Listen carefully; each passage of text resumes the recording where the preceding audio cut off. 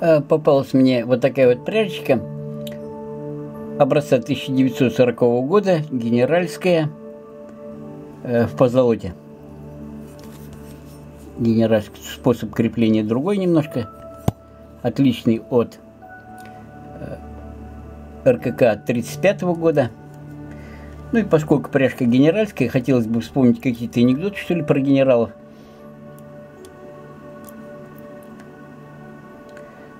Порой генерал путал воинский долг с супружеским.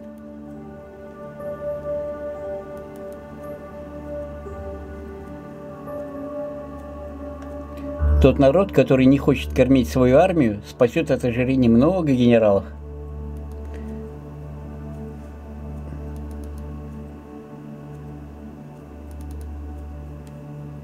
В семье генерала все служили в армии, кроме бабушки. Бабушка служила на флоте.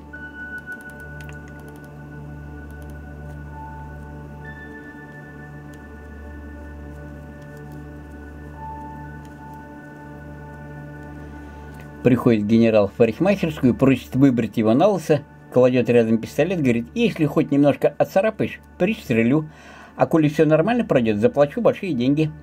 Парикмахер согласился, сделал работу на отлично, генерал платит обещанный, говорит, и как это ты решился, когда под угрозой была твоя жизнь? Ну, моя бритва была ближе к вашему горлу, чем ваша рука к пистолету.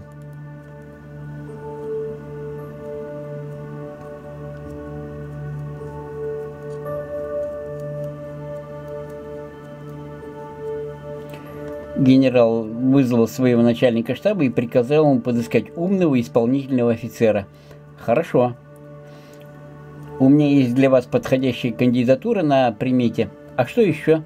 Ну, затем найдите причину для освобождения вас от занимаемой должности.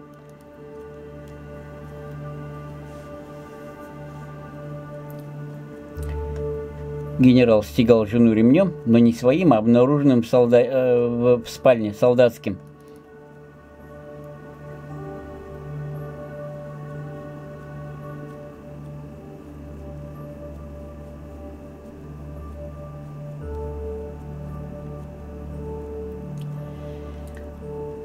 Отец генерал разговаривает со своей незамужней дочкой. Вот когда ты уже выйдешь замуж, столько вокруг офицеров, молодых, красивых, перспективных, все у них впереди. Не нравлюсь я им, папа. Говорят, что характер у меня скверный. Плохо, дочка. А ты, папа, между прочим, генерал, мог бы и приказать кому какому-нибудь достойному жениху. Не могу я, дочка, не имею морального права вот так просто человека на смерть посылать.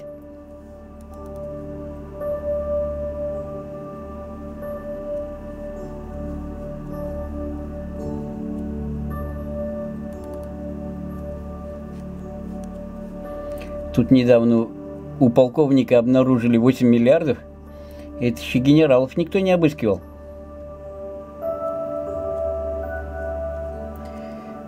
Теща решила переехать к своему зятю генералу, но по дороге ее призвали в армию.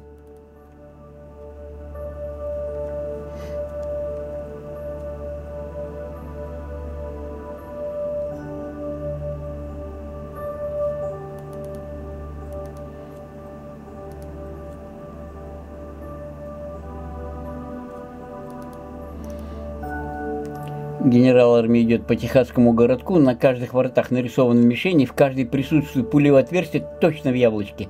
Генерал спрашивает у старика, сидящего на скамейке, «Папаша, а кто это у вас такой меткий стрелок?» «Да, это рыжий один тут. В стрельбе упражняется». «Так этому парню самое место в армии? В снайперском взводе?» «Не, он вам не подойдет». «Почему не подойдет? Он же такой меткий».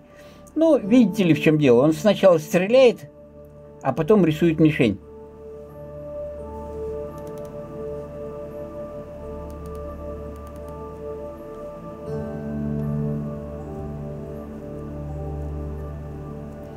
Воинская часть поздно вечером на, на улицу вышли лейтенант, полковник и генерал.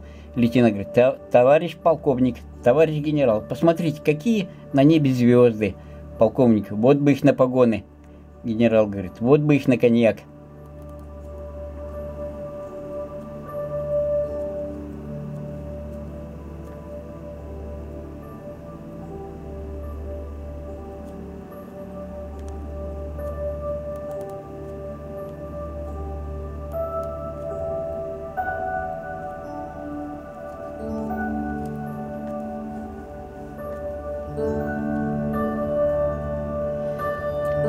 Самый Самовлюбленный генерал идет по улице маленького городка навстречу пьяный рядовой, который заплетающим языком спрашивает, «Куда мне лучше сейчас пойти?» Генерал спрашивает, «Знаешь ли ты, с кем говоришь?» «Куда мне надо пойти?» Генерал говорит, «Ты знаешь, с кем говоришь?» «Вот нажирался. Я не знаю, куда идти, а ты не знаешь, кто ты сам».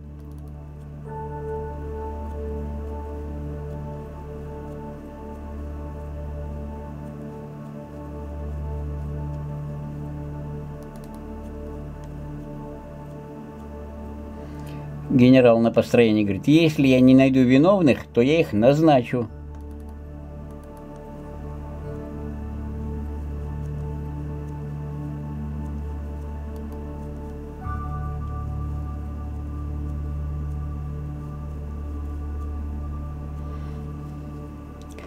Генерал отгадывает кроссворд и вслух рассуждает. На К начинается, на СК кончается.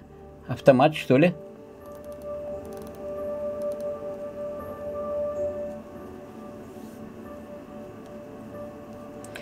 Инспекционная проверка. Товарищ майор, почему в роте такая гнусная вонь? Правильно говорить не в роте, а во рту, товарищ генерал.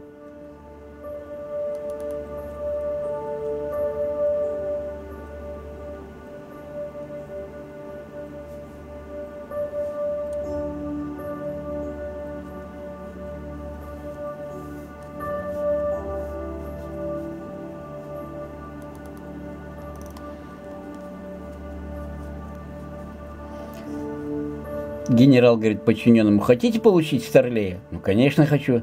Тогда поезжайте в отрезвитель и получите там нашего Старлея.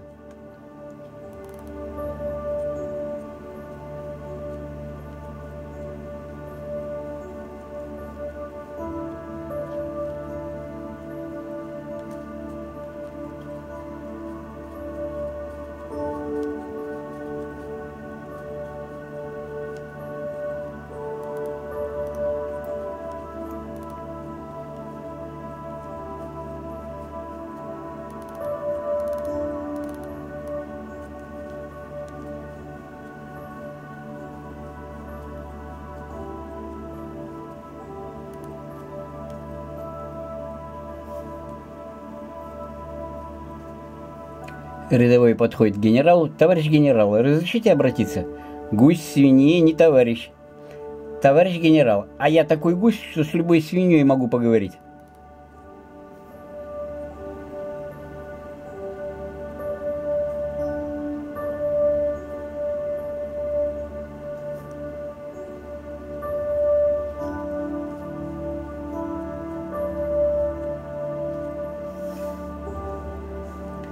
Генерал общается со своим водителем.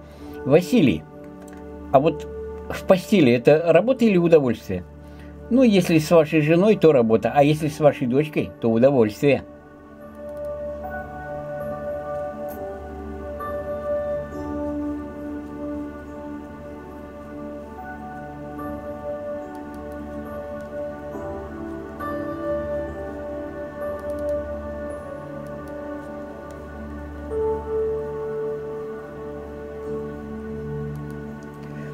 Все анекдоты вымышлены, совпадения с реальными людьми или событиями случайны. На этом, пожалуй, все. Спасибо за внимание. До свидания.